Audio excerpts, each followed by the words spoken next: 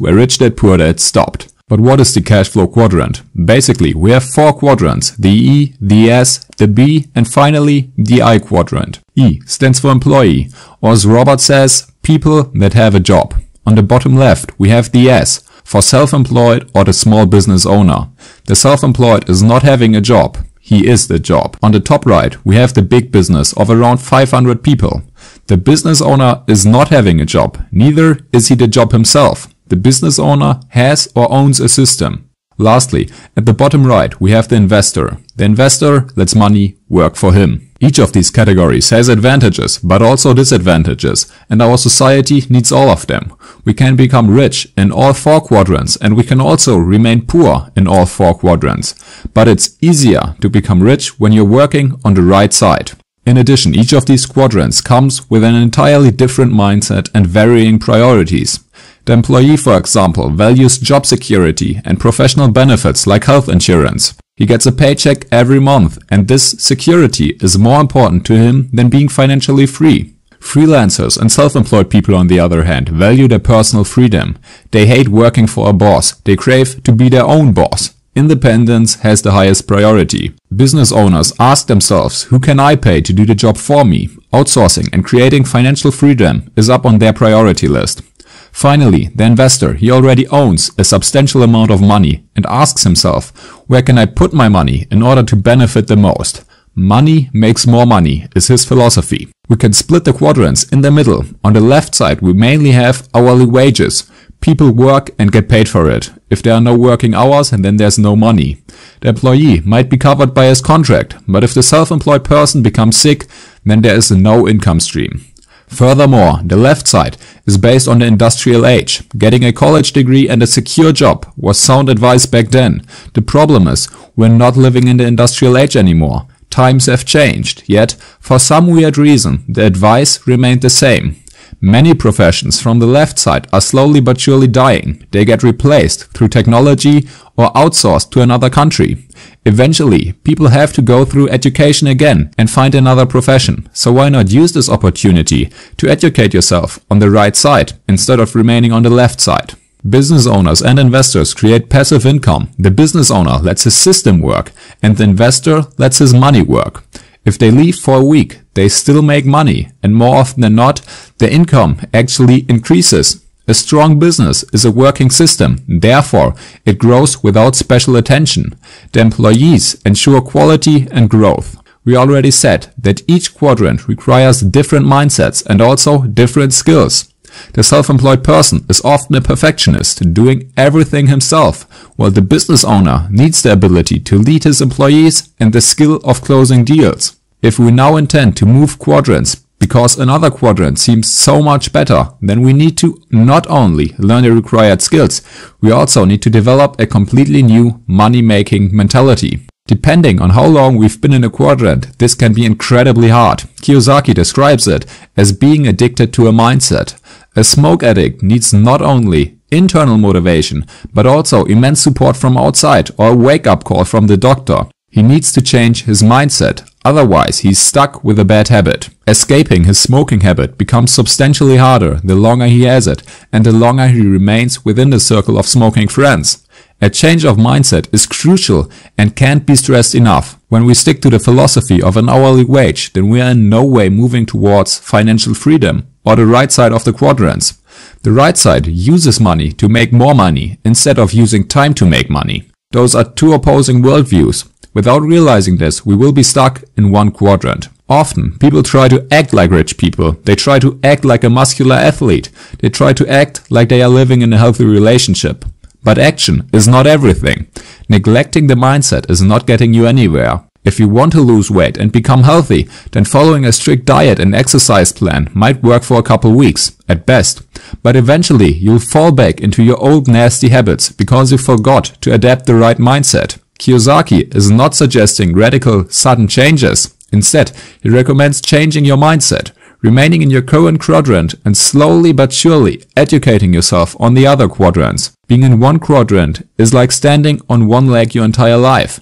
Job security might seem like a great thing, but a look from outside reveals how risky it is to remain in one quadrant. Instead of standing on one leg, focus on two quadrants and make sure that one of these quadrants is on the right side, because the right side is making the real money. Also, he recommends moving to the business quadrant before going to the investing quadrant. While being in the business quadrant, we develop our leading skills and we begin to recognize good opportunities. Exactly, this ability is essential when moving to the investor quadrant. You will be able to distinguish between an excellent and a mediocre business. You'll discover the differences between the leaders and therefore you will make better investments. Investments bring us directly to the next point. Do you think investing is risky? Maybe consider the following change. An investment is not risky. Investing in real estate can be good, but the very same thing can be terrible. The difference is in the investor. Either he is educated or he is not. Being and remaining uneducated is risky. Giving your money to someone else can be risky. Trusting your banker can be risky. We have to educate ourselves in order to recognize whether an opportunity is exceptional or horrible. Education is essential in making investments, but also in growing a business, and we need to constantly improve our education. This leads us to the next point. Always trust in facts and numbers, never in opinions. Stocks are risky. Stocks are not risky. Real estate is a safe bet. The price of this house will go up in the future. Getting a degree is the best way to ensure job security and a constant income. A degree is worthless. You know what all these statements have in common? They are opinions, not facts. Before spending, or even better, using our money to make more money, we have to educate ourselves, learn the facts and understand the numbers. We frequently act irrational, we act emotional, but we think that our actions are as logical as it gets. And this is simply wrong. If we are not educated just yet, then our decisions are based on opinions and emotions, not on facts and numbers. So far we've discovered the four quadrants and we've learned that moving from one to another does not only require a new set of skills, it also requires a new mindset. Furthermore, we realize there are no risky investments. The only risky thing is being uneducated. Therefore, we need to work on our financial education so we recognize the difference between good and bad deals. There are two more things that I want you to take from this book. Firstly, there are five levels of being an investor. The level 1 investor has basically no assets. On the contrary, he has a lot of liabilities. He might be in debt and the goal for him is to become debt free. It's okay being in debt as long as you're working and educating yourself to get out of it. The level 2 investor is debt free. He prefers saving money, constantly growing his bank account. He's desperately hoping for a sudden change or he believes that saving is the best thing. Sadly, saving is just the beginning. Having some backup cash is neat, but building assets is the next step. Saving and bank interests are not really bringing you ahead. It's more likely that inflation will eat your cash away over the years. Don't get ignorant at this stage. Instead, educate yourself and move forward. The third level includes the first investments. More often than not, those investments are rather risky because the investor is lacking the necessary education in the financial field. Therefore, his investments might leave him empty-handed and he remains with nothing but a miserable experience. Reaching level 4 is an achievement and most people never make it. The level 4 investor is aware of his money. He realizes that constant and lifelong learning are the key to becoming successful and financially free. A level 4 investor faces bad investments, but he's not ignorant. As a result, he comes out ahead, he makes new experiences and learns from previous mistakes. And now we've reached the top of the money-making food chain. The level 5 investor is a capitalist. He recognizes chances and takes them. The world is his playground. He's financially free, but still works on his education. Additionally, he gives back because he remembers that giving comes first, receiving second. We should be aware of the five levels and realize our current position. As a result, we can move up the ladder and reach our financial goals. Lastly, I want to give you Robert's 7 steps to moving from one quadrant to another and therefore reaching your financial goals. First up, mind your own business. If you don't mind your own business, then you will work to make other people rich. You'll work in a big company and make your boss rich. You'll work as a lawyer and finish deals that are worth millions, but you'll remain with an hourly wage. Secondly, Take control of your cash flow. A lot of money is not making you rich. You become rich by earning more money than you spend. If you always spend more money after increasing your income, then you will sit in the same level of wealth forever. Thirdly, know the difference between a calculated risk and a risky situation. Being educated and investing a part of your money into stocks is a calculated risk. Being uneducated and unwilling to build up your financial mindset is a risky situation in general. Next up, know what kind of investor you are. Firstly, you need to know whether you work on level 1, 2, 3, 4 or 5. And secondly, you need to analyze your strategy.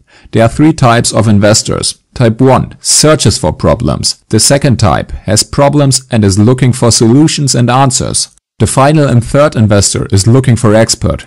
He's not thinking his decision through. He's not facing specific problems. He consults an expert straight away and takes his advice as the holy grail. All of these have their place and the best thing is to combine them in order to maximize the results. Step number 5 is searching and finding mentors.